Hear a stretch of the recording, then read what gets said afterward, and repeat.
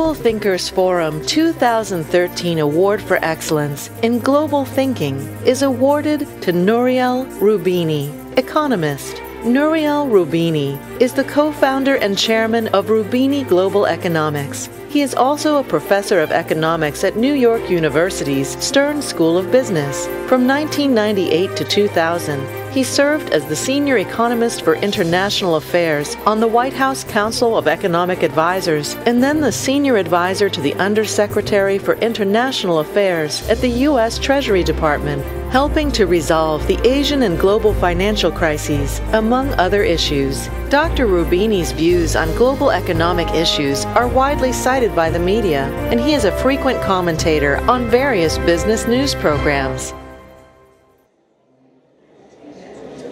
Well, sadly, Mr. Roubini couldn't be with us tonight, but he has sent us the following letter, uh, and I would like your attention while I read out what he has to say.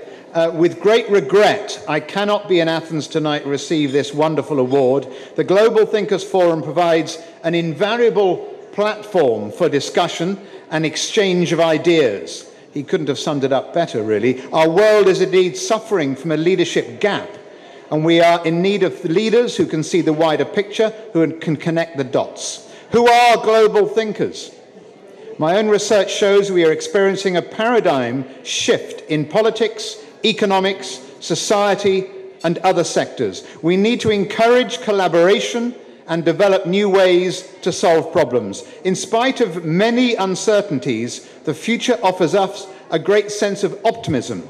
In spite of those uncertainties, well, the mission is of great importance to our world. It's committed to generating fresh thinking and to recognize talent which hopefully we're doing tonight. I am honoured that my work has been acknowledged in this year's awards and wish all the best of endeavours to our global leaders of the future here in this room tonight. Thank you, Stephen. Global Thinkers Forum, an ecosystem for excellence in leadership.